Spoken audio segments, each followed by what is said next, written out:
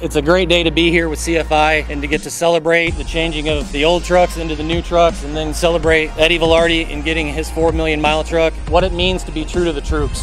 It's a humbling experience to be able to work for an organization like this that recognizes troops and gets involved with military activities like they do. The most important thing I think to talk about first is that it's not the truck. The trucks are neat, they do a lot, but what it really is is it's the drivers. Without the professional drivers and the guys standing over there in front of their new ones, nothing would have been possible without their contributions. It's been my honor to work with Darrell, Scott, Mike, Gan Thomas, and they represent the best of the best. I'd like to take a moment as we approach our Independence Day and just I'd like to give a salute to all the veterans and active duty service members that have supported our country, defended our freedom, and made America great. Thank you.